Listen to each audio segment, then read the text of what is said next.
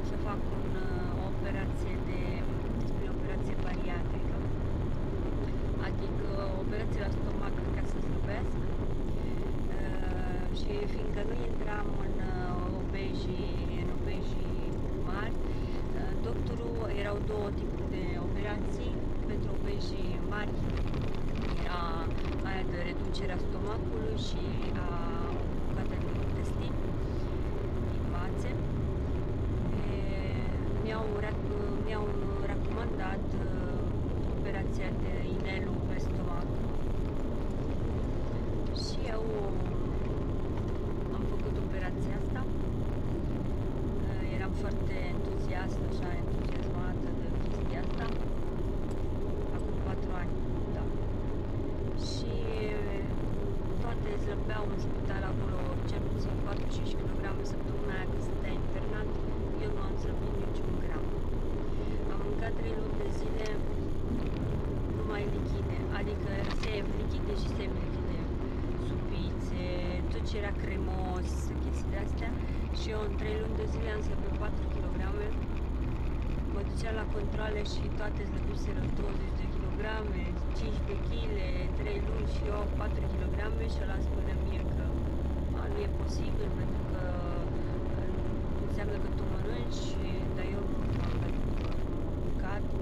Și atât m-a, m-a dat peste cap chestia asta că am zis, băi, eu am încercat ce mi-au făcut o, o operație cu găuri pe burtă, deci inelul ăsta e pe stomac, așa, care ți strânge și face o parte din stomac mai, mai mică, partea superioară și într-o parte sub piele ai un fel de capsulă așa, care medicul cu siringa se duce și îți strânge inelul sau ți le lărgește. Și mi s-a întâmplat că eu, după un an de la operație, dacă am văzut că l-am slăbit decât astea 4-5 kg așa, nu am mai dus la control. Am zis, dați-vă dracu perfect. Ce se întâmplă? Inelul ăsta e stres de stomac și trebuie să mestești bine mâncarea, că altfel ți se oprește aici la stomac. Și um, anul ăsta Bine, acum 3 ani mi-a venit ideea asta să mă duc la facultate. De fapt, ce s-a întâmplat? Eu când am venit în România încă nu terminasem liceul, dar n-am putut să dau bacul pentru că trebuie să venim aici să facem transplantul de mână și uh, n-aveam bacul. Și acum 3 ani, 3 ani, da? Uh, Am zis, m-am hotărât așa să mă duc aici la o școală să întreb cum să fac să iau și eu bacul și ăștia și-am luat, uh, am învățat uh, lunile alea și am dat bacul aici la uh, liceul de modă. Nebunie mare, mă va trebui să desenez când o să am uh, timp, o să mă duc să cer uh, la școală că am făcut, a trebuit să fac un notebook uh, cu desene, a fost mișto de tot, uh, m-am distrat la nebunie și eu nu știu dacă filmează chestia asta. Am făcut mai răspuns și așa. Și am dat bacul aici în Italia. Am luat niște note foarte, foarte mari. Toate se mirau de mine, de cum ești străină și mai ales eram mult rău de mine, pentru că după atâția ani să înveți nu e deloc și mai ales în altă limbă și alte materii și alte chestii și eu am făcut uh, real în România și aici cu moda n-avea nicio legătură, că trebuie să înveți uh, lucruri diferite, mult mai diferite decât, uh, decât la noi și mai ales cultura lor și da, a fost ușor deloc, dar uh, am luat uh, note foarte mari, mi-am fost așa de mândră de mine.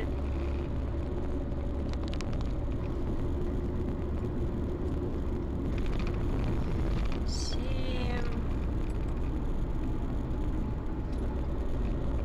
după ce am luat bacul, că bacul tot ca la noi în iulie, e, eu un an înainte făcusem un curs, un curs de un an de zile de care nu se trebuia liceul de ajutor de cum e la noi infirmiere care face paturile, spitale astea.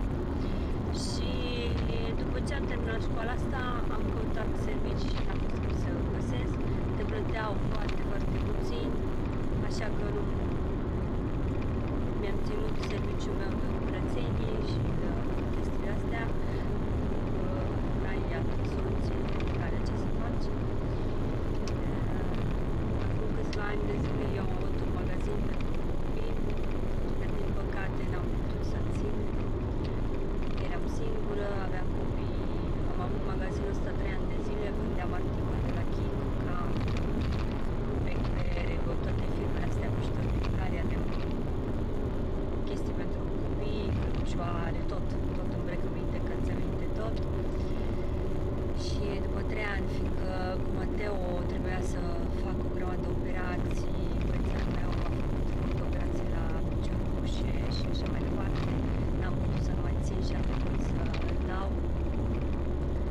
Și singura chestie care am putut să fac, că a trebuit să mă întorc la vechile mele de origine, alea de a face curățenie prin casă.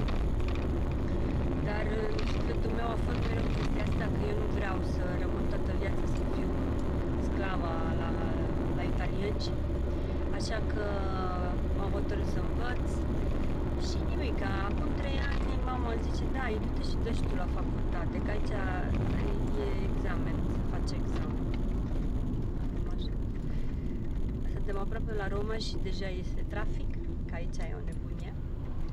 E... Zic, mamă, cine mai are timp să învețe, cine are timp să ducă la facultate și... Și ca, zic, hai că încerc și eu. M-am învățat un pic o lună de zile, cam așa, înainte de examen. Se intră foarte greu, sunt foarte multe e, persoane care încearcă la facultate, la facultățile astea din medicină. Și zic, hai că încerc. Eu aș fi vrut să fac fizioterapie pentru a putea, așa pot să mă ocup mai bine de Mateo, dar acolo era foarte greu să intri, adică erau așa vreo 5.000 de persoane, vreo 30 de locuri și puteai să alegi ori fizioterapie, aveai trei alegeri. În, și am zis prima alegere fizioterapie, a doua infirmieristică, adică științe infirmieristică, ar fi, ar fi asistenta socială profesională cu facultate. Și a treia alegere era zona, ori la Roma, ori la Anzio, acolo unde stau eu. Și nimic, la, la fizioterapie n-am intrat, vă dați seama ce înseamnă să intri acolo. Și nimic, acum anul ăsta, până ianuarie, chestia asta care o am sub piele, deci eu am lăsat așa o chestia asta la stomac, nu m-am mai greșit, așa am mâncat cum am știut eu, e cam un an de zile când uh, mă duc în țară, încerc să fac 100 de diete, nu reușesc niciodată să duc până la capăt, de-aia am și încercat acum să să ăsta poate ajutată de voi reușesc, chiar dacă săptămâna asta am un pic de probleme. Așa, oricum, ce mi s-a întâmplat? Anul ăsta, portul ăsta care se află sub piele, care e colegat la vendaș, s-a inflamat. S-a înroșit așa sub piele, de sub piele, sub cutane. E, a început să roșească și să mă doară. Și m-am dus la control, păi am încercat, bineînțeles, pentru că nu am mai făcut atâția ani. Și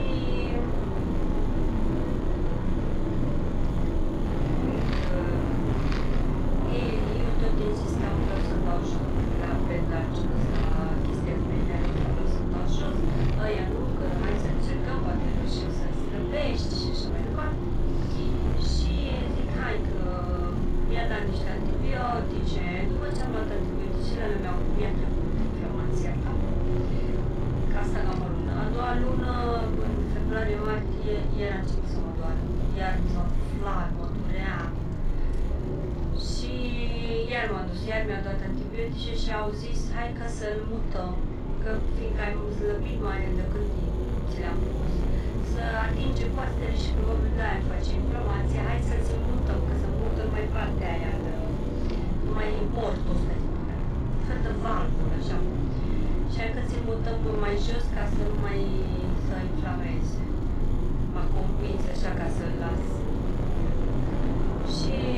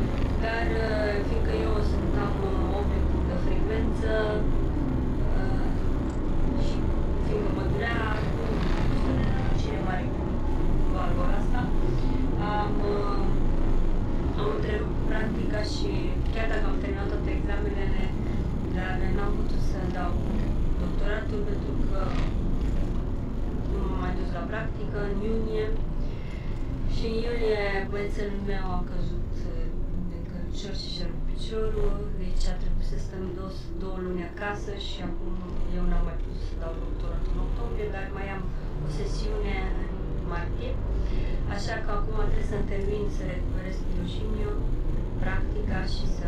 Hai că am ajuns la Roma, hai să vă arăt Roma și poate pe urmă când nu facem o post bestial. Deci suntem la EU, Roma.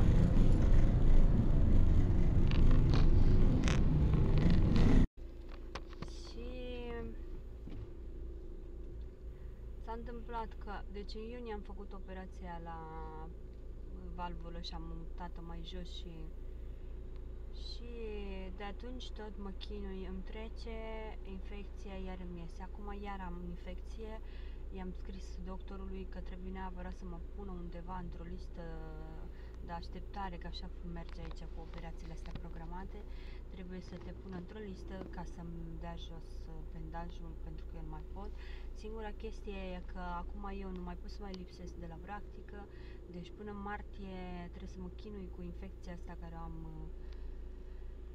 și nu e simplu deloc pentru că mă cam doare și trebuie să mă duc și la practică și trebuie să ridic și pe Mateo în brațe și e chinuială mare și am zis că să încerc, le-am încercat pe toate, vă spun cu tot sufletul, le-am încercat pe toate. Nu știu ce se întâmplă în capul meu când,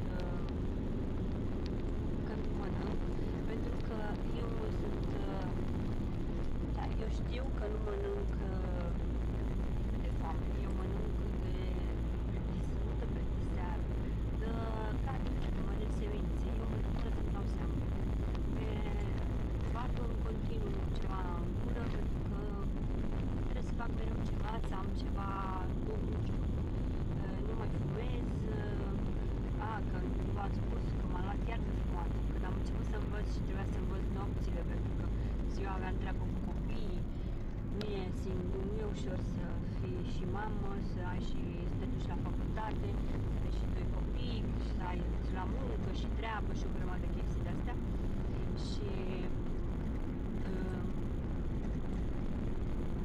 noaptea când mă, când mă băgam la învățat, uh, iau țigările lui mama acolo și odată am luat și o țigară de zis, poate mă ține și pe mine mai trează pentru că nu-mi place cafeaua și muream de somn când învățam. Ce suntem la Eurață și frumos este lacul. Astea sunt niște blocuri care ani de zile de când nu le termină. e și aici, ca la lată. Și am luat odată o țigară și de acolo am început iar să fumez, dar nu plăceau, nu mai îmi plăceau țigarele normale. Și mi-am cumpărat de alea mentolate, care am zis că sunt mai bune, dar alea mentolate fumam mai mult, pentru că ziceai că sunt caramele și eu tot timpul am nevoie de ceva de curat cu gură, sunt ca copiii mici care trebuie să face tot cu gură. Și... Da, și frumos. Asta e ghețare de la Grigol.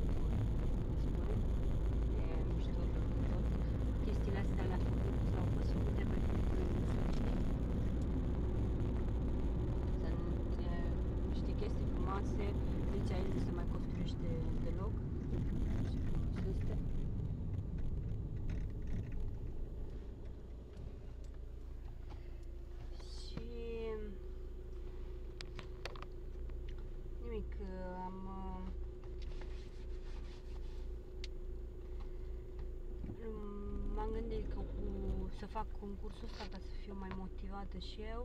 Adevărul este că prima săptămână a fost super, super, super, super. N-am greșit niciodată. În schimb, săptămâna asta țin uh, regimul uh, până seara, perfectă, și după cine mă iau foame de mor, eu nu știu ce să, ce să fac, că eu uh, mi-e foame, mă duc, eu mi iau un dulce, ceva, pentru că dulce nu se zice că mă duc să mănânc niște salată, nu. Mă prostesc cu porcării. Și în momentul în care mănânc, îmi zic, Doamne, dar de ce, de ce mănânc eu? Dar nu reușesc să mi le mi iau de la gură, continuu să, să mănânc.